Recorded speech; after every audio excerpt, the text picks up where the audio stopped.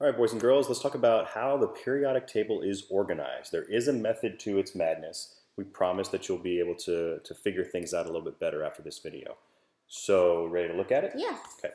So, uh, the periodic table is organized into. Oh dear. How did that get in there? Yeah, it's, it's the periodic table of Pokemon. It's fine. It's just Pokemon. Anyways, uh, here's the actual periodic table. so embarrassed.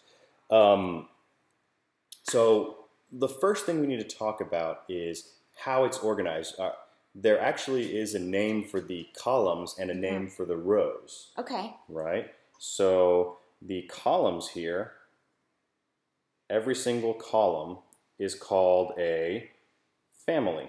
Okay, a family or a group. You may also see the word group. And they're organized by similar properties, chemical and physical properties. Right. So, like in your family, you're similar to your siblings and your parents.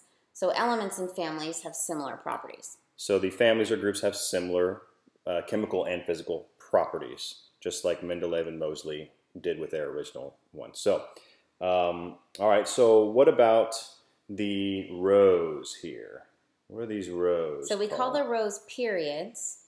Okay, so they're called periods. And remember that it goes across from left to right by increasing atomic number. So, increasing number of protons.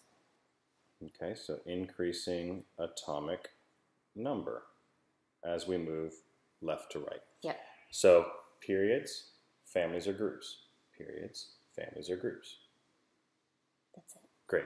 All right, now um, the other thing we're going to talk about is there are three different types of elements overall. There's metals, there's non-metals, and then there's these things called metalloids. Which are kind of metals and non metals. They're kind of a little bit of both, right? So Mhm. what we have to really pay attention to is this one thing called the staircase. Now, if you can see, there's a little dark line on the periodic table, but I'm going to make it even darker for you.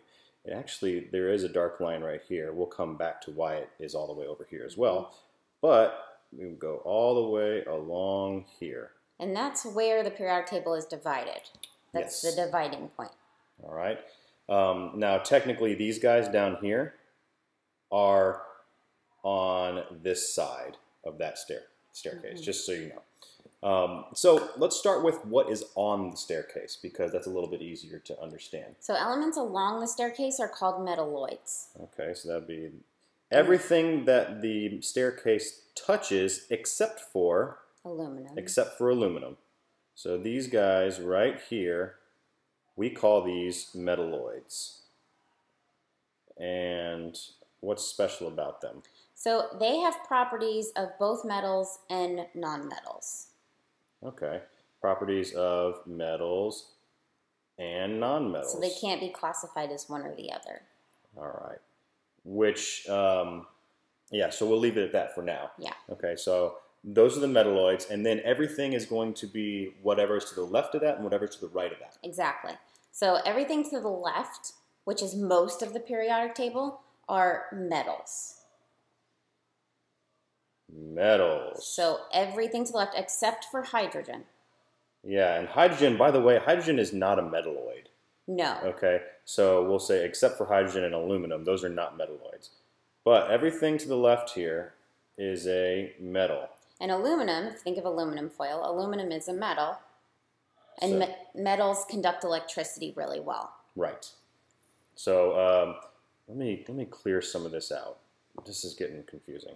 So everything over here, these are all metals. Yep.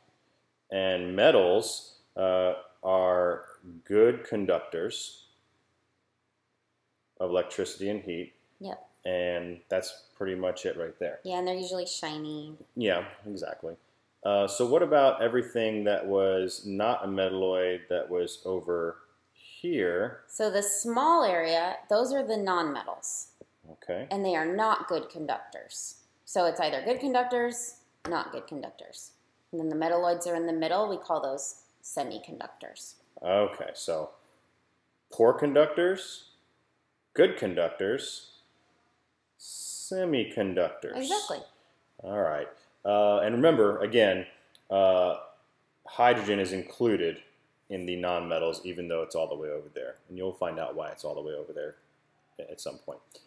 All right, that seems like it. Yep.